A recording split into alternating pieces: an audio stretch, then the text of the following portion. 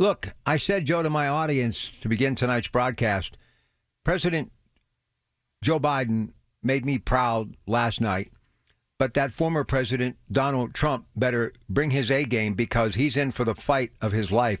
She is gaining a whole lot of momentum. My question is, why is it and how did it happen so fast? Good evening.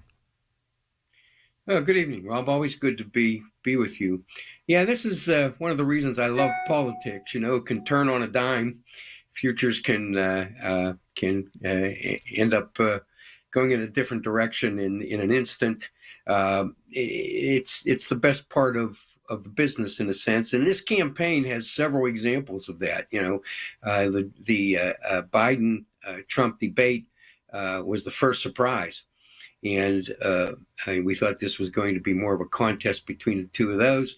Uh, but then that you know that was a disastrous debate. But Democrats have recovered in such a way that they're now on offense, and and Donald Trump's on defense. And and I and I don't say that Republicans are on defense. I, I say Donald Trump's on on defense because as we've seen, some very prominent Republicans have have now come out and endorsed uh, uh, Kamala Harris.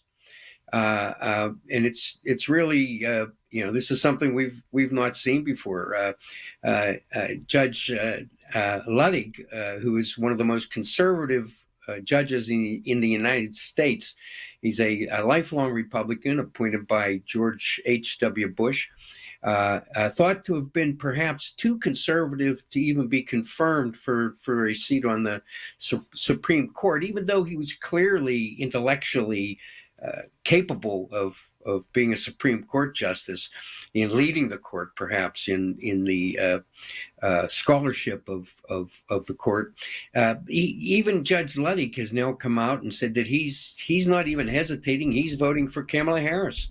Uh, it's it's something we haven't seen before, and and it once again is the essence of of national politics these days, more so than even local politics, which tends to be a tad more stable.